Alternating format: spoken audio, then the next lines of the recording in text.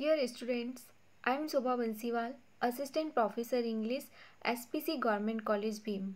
Uh, today I am going to explain um, the poem Ode to the West Wind, uh, which is written by Percy Bysshe Shelley. In this poem, uh, Shelley uh, expresses uh, his revolutionary thoughts. Uh, first, I read the text.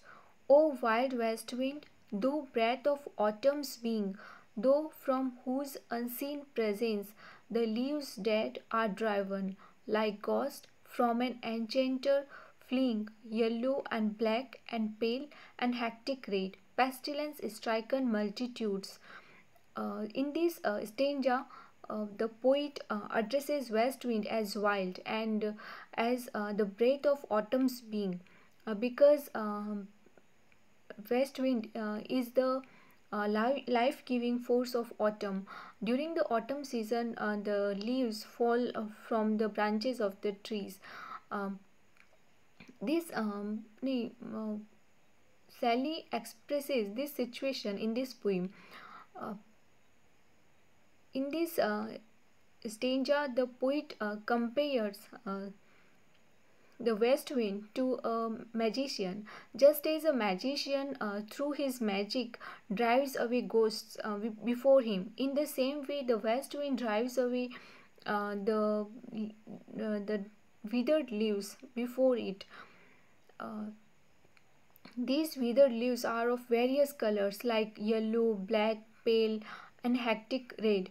And uh, there are multitudes of uh, these uh, withered leaves.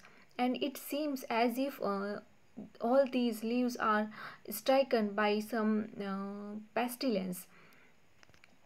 O thou who chariotest to their dark wintry bed?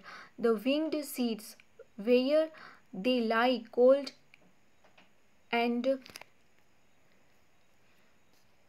low, each like a corpse within its grave, until thine azure sister of the spring sail blow her clarion over the dreaming earth and fill uh, with living hues and odors plain and hill. The, the west wind uh, drives, the west wind carries the seeds to uh, to their wintry beds. Uh, here the poet wants to say that uh, in the autumn season when the west wind blows it scatters uh, seeds here and there and um, and covers them with um, earth. And these uh, seeds lie beneath the earth uh, cold and low. Just as a dead body or corpse uh, lies um, um, in in its grave. In the same way uh, these these seeds um, keep on lying uh, under earth cold and low. And these seeds are mm, keep on lying there until the spring season comes and blows her clarion here the poet uh, calls spring season uh, the sister of autumn. Uh, and in uh, during the spring season when uh, when the there is uh, rain. And during the spring season when there is rain uh, the these seeds sprout into plants and uh, and uh, they bloom flowers on these plants. And uh, the whole valleys uh, the whole plains and hills uh, are filled with different various colors. The colors of these flowers and uh, and fragrant smell. The birds which um, grow out of these plants it seems as if uh, the poet compares these birds to uh, flocks which um, which graze in the plains. Uh, in the same way the poet says that uh, these uh, birds um, come out of these plants the flowers of these plants um, to these birds come out of these plants to feed in the air. Wild spirit which art moving everywhere, destroyer and preserver, here, oh, here. Uh, in these lines, the poet uh, calls west wind as wild spirit, which is moving everywhere. Uh, it means the west wind is blowing everywhere, and it he calls west wind a destroyer and a preserver. The, the west wind is a destroyer of the dead leaves and it is the preserver of uh, the seeds. uh, here uh, I want to tell you that uh, Shelley was a revolutionary poet. Uh, he was not content with the existing state of affairs. Uh, and he wanted to change uh, the existing modes of life and conventions and customs.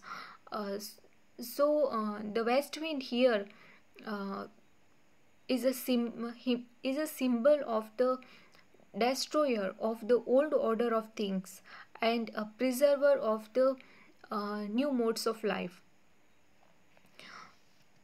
though on whose stream meet the steep sky's commotion, loose clouds like earth's decaying leaves are said, shook from the tangled boughs of heaven and ocean.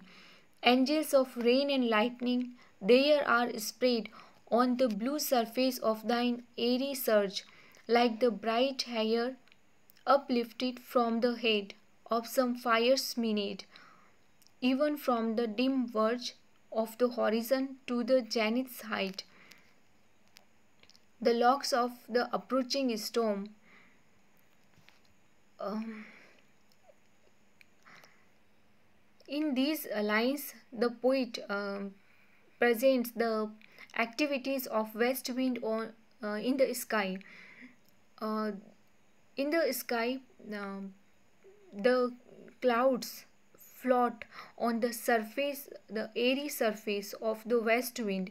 Uh, here the poet uh, uh, imagines a tree whose branches are in the ocean and who uh, whose are whose roots are in the ocean and whose branches are in uh, in the sky. And the poet imagines that um, just as leaves dried leaves fall from the branches of the tree in real life uh, the clouds fall from the branches of this imaginary tree and these clouds uh, fall on the surface of the uh, west wind. Uh, these clouds are the angels of rain and lightning. It means uh, they uh, they bring rain and lightning. Uh, there are spread on the blue surface of thine airy surge, like the bright hair uplifted from the head of some fierce Maenad.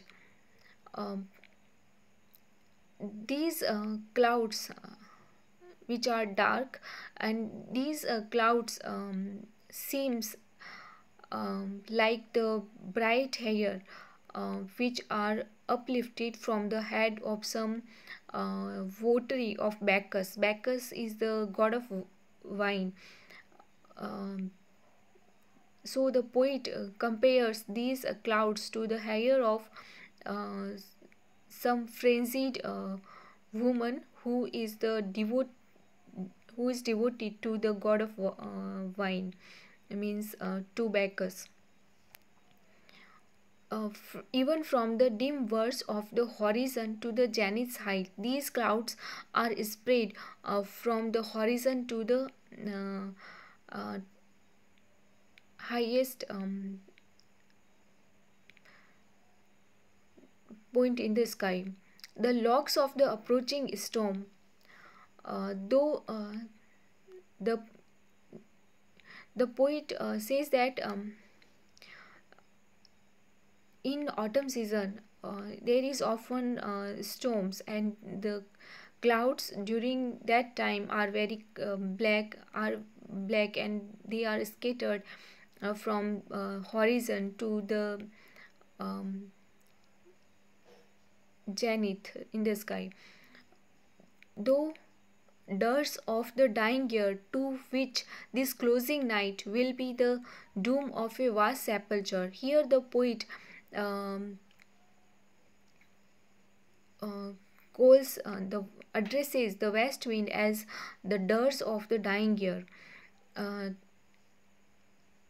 he imagines um, he personifies year um, and uh, he says that the year is dying and the sound which is created during autumn season. The sound of the west wind is the dirge uh, sung on the death of the year uh, to which this closing night will be the dome of a vast sepulchre. And um, and uh, west wind and this night uh, will be a dome which is